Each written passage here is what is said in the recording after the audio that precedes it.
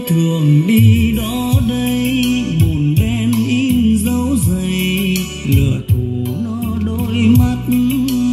Chớm nghe là từng khu chiến cuộc áo đường xa không ấm gió phương xa.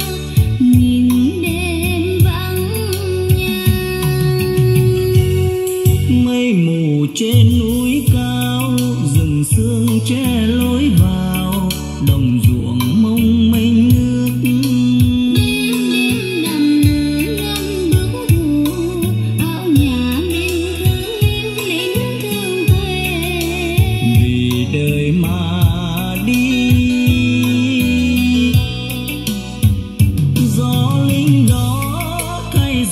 về làm phấn xanh cây lá lấy nghe gió mưa nhiều tây ninh nắng nung người Nhà chân về thì lòng máu tươi đắm thắm vắng bóng hồng hỏi tôi yêu ai.